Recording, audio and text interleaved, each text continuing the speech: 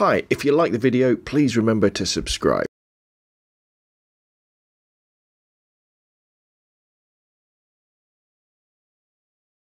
Hi, I'm Rob from RobNunnPhoto.com and in today's little video I'm going to be looking at how you can customize and add RSS feeds straight into Blinkfeed which is the built-in sort of RSS magazine uh, content uh, consumption um, part of the HTC Sense operating system.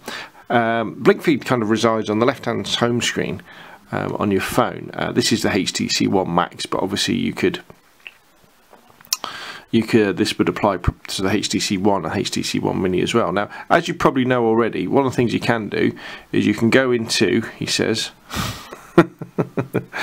Why does this always do this to me when I'm trying to do this bit? I don't want that. I just want to look at the highlight. Right, we can go into the settings and then we can choose what we want to look at. So for example, I've got mine set up so I can look at highlights.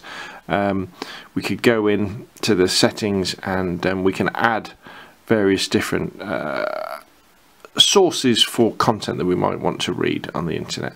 Um, CNET, TechCrunch stuff. There's loads of different ways that you can uh, search for different um, uh, things that you you might well want to read. Um, you can search by category. You could actually have a look through and actually uh, search for for um, different content streams if you like. But one of the things that um, is a little bit tricky with it is RSS feeds because it can handle RSS feeds and sometimes when you do search for topics they will uh, an RSS feed will come along but what you often want to do is you'll want to add an RSS feed from a particular website and I'm going to show you how to do this. Both both in a way where the RSS feed is obvious and sometimes where the RSS feed isn't obvious. Okay so, so let's say we're um, let's say we're browsing the web. Let's say, say we were looking at say, uh, Scott Kelby's blog. So let's do a Google search for Scott Kelby. And let's go to scottkelby.com and what will probably happen is, in fact, what you'll probably see.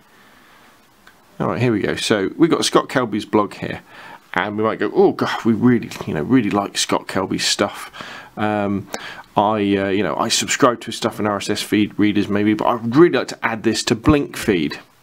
Now the way that you do it is you look around and you look for an RSS button and lo and behold see this colored orange colored thing here? That's the RSS button. So if we press that and it says complete action using all these sorts of things. Now you're looking for one that says Blinkfeed if it doesn't say Blinkfeed on it just press internet and let it clunk to the next one. And what it will do it'll then we're going into an RSS feed. It's actually going to recognize this and it's kicked us into um, a, a, Blinkfeed now. And what you're looking for is this little plus in the top right hand corner. If we now press plus to that one we've now subscribed on Blinkfeed to Scott Kelby's Photoshop Insider blog.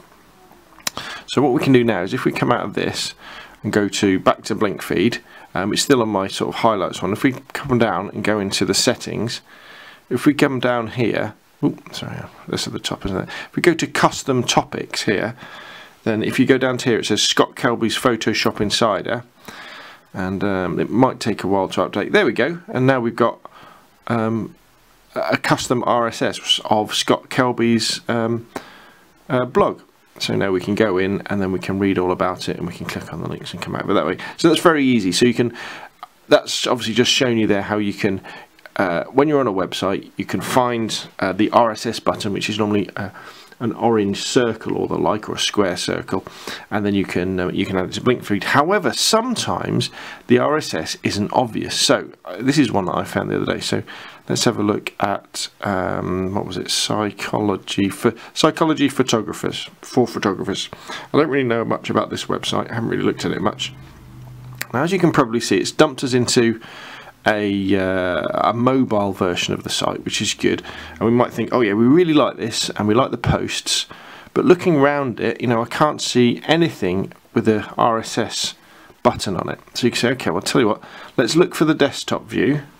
Let's go into the settings and change that and see if there's an RSS button here. So remember, we're looking for those one that kind of orange kind of icon. Normally it's on the sides. As we hunt around, there's nothing about an RSS feed here. Now it's a blog, um, and most websites are based around uh, CSS or um, sorry, yeah, CMS's content management systems. So there will be an RSS feed for this site. We just can't see it. So what we can do is if you tap on the top of the, the screen to get the URL up, where it says psychology for photographers, if we now uh, forward slash, if we now add feed and press enter, and we can again we get one of these uh, little um, bits up. So we know we just say yeah, complete it using the internet, which is our browser, and let's see what happens. Dunk. Right, it's just like as if we'd clicked on a um, an RSS feed, we've gone into Blink feed and we're looking again for this little plus sign up here. We can hit plus and that has now been added to our um, our list of Blink feed kind of custom content so that we can look at it that way. How cool is that? So there we go. So when you want to add content to Blinkfeed, not only can you, you know, do it the easy way, which is where you're looking out for the RSS icon. In fact, tell you what, let me do let me do a quick image search for RSS icon. RSS icon. There we go. Just so we can show you what it looks like. There we go. So that's that's the kind of icons you're looking at, this sort of thing. And you click on that, and then it might take you straight into Blinkfeed and say do it with Blinkfeed, or you might have to say do it with the browser, do it with the internet, and then it will kick you into Blinkfeed, and then you press a little plus. Or if you visit a website where it's not obvious, where there isn't any obvious RSS icons, just click on the top where the URL is, go to the end, and then just add from the home page. So if it was like you know photography.com, it would be photography. Uh, say it's photography.com slash index. It'd be photography.com slash index slash feed. And if there is an RSS feed, that will then find it, and then you can add that into um, Blink feed. So um, there we go that's how you do it um, oh I'll give you one other hint as well is if you um, want to uh, have blink feed in fact I think when you get the phone uh, standard to start off with blink feed is set as the home screen and so what we can do is we can say set that as the home. So now if we come out of this whenever I press the home button ooh, let's come out. I'm just always going to go back to blink feed like that. However you may not might not really want that. So again just go into um, this section and then just tap on your middle screen. Whoops and then say ooh, let's tap that one and then set that as home. And that means that whenever I press the home button in an app or anything it takes me back to there and not back into Blinkfeed.